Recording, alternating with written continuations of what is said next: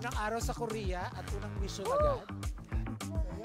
Hindi to running man kung hindi to ganito, kung hindi kami mababaliw. Totoo. Tsaka kahit na hindi ako makapagsalita kasi naninigas na. Masaya ako talaga.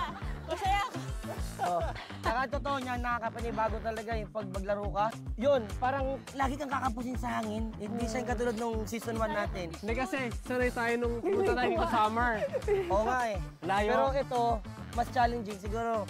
Kailangan ano, mas... ah, Practice hag pa. tayo, hag tayo, hag tayo. Hag tayo. Hindi, pero alam nyo guys, nakakatuwa na magkasama tayo ulit. Siyempre, mas nakakatuwa dahil may extra member na tayo ngayon, yung 8th runner. Kahit hindi na tayo makapagsalita, nagawa natin! Ah, si Miguel naman, first mission, first day bilang running man. Ako, sobrang saya kasi first day namin together lahat. Pero nagiging successful yung mga missions namin. Kaya sarap, sarap sa pakiramdam na nagkakasundo kami.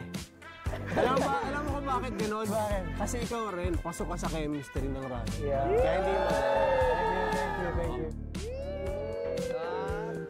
Uy, pengen naman pang per dime. Oh, baka naman. Lamig na lamig na ba kayo? Oh. Sabi nila hindi pa daw tumalamig.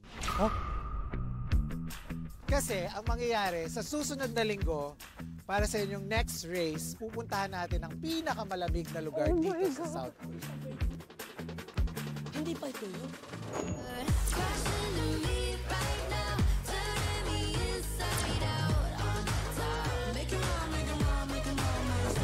Okay, okay. Runners, proud of you. Alam niyo na on 3. 1, 2, 3.